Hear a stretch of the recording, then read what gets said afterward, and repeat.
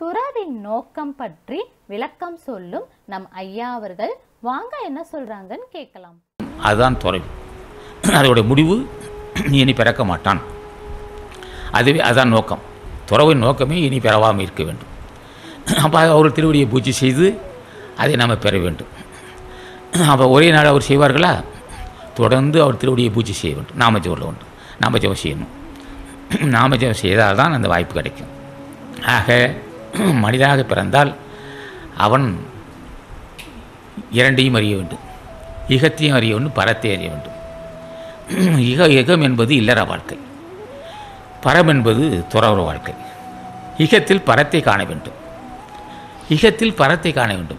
இல்லற நடத்துகிறான் அவன் துறவியாக இருக்கிறான். ஏன்னா இல்லை மனைவி கூட கூடியிருக்கிறான் வியாபாரம் செய்கிறான் அவனை போய் துறவினான் உள்ளத்தில் துறவாக இருக்கிறான். அவன் எப்படி இருக்கிறான்?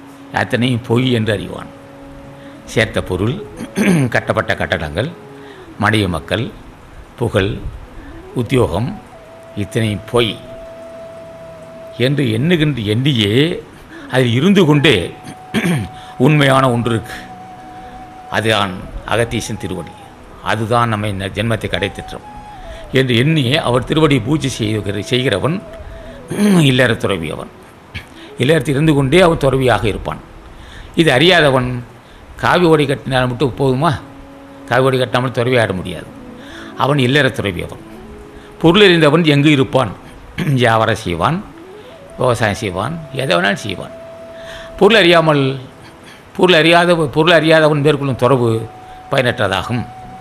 காரணம் பொருள் அறியாதவன். பொருள் என்பது என்ன? முற்று பெற்ற மனிதன் திருவடியை பெற்றுவதே உண்மை பொருள். அவர் தான் ஞானிகள் உண்மை பொருள். அவர் ஏன் ஞானி உண்மை பொருள்?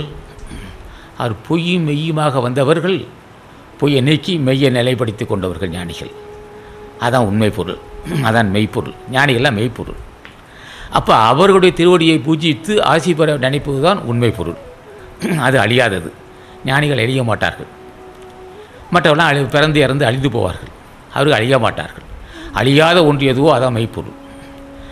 அப்படி இருக்கும்போது ஏன் கண்ணுக்கு தெரியவில்லை ஞானிகள்? எந்த பொருள் தோற்றமாகுதோ அது அழிந்து போகும். அது எவ்வளோ உயர்ந்த பொருளாக இருந்தாலும் சரி தோற்றமாகக்கூடிய பொருள் அழிந்து போகும். தோற்றம் ஆகும் ஆகாமலே இருத்தல் தன்னை மறைத்து கொள்ளுதல் என்பவர் ஞானிகள். இப்போ நம்ம பேச கேட்டுக்கிட்டே இருப்பார் ஞானிகள். ஆனால் தன்னை மறைத்துக் கொள்வார்கள். அப்போ தன்னை மறைத்து கொள்ளும் வல்லமை வல்லமை பெற்றவர்கள் தான் ஞானிகள். அதுதான் உண்மை பொருள். ஒன்று கண்ணுக்கு புலப்படாது. கண்ணுக்கு புலப்படாத ஒன்று நிரந்தரமாக நித்தியமாக இருக்கும். ஞானிகள் நித்தியமானவர்கள்? ஆசானது அருளுரைகளை தொடர்ந்து கேட்க அரங்கர் டிவிக்கு லைக் பண்ணுங்க சப்ஸ்கிரைப் பண்ணுங்க. மறக்காம பெல் பட்டனையும் கிளிக் பண்ணுங்க.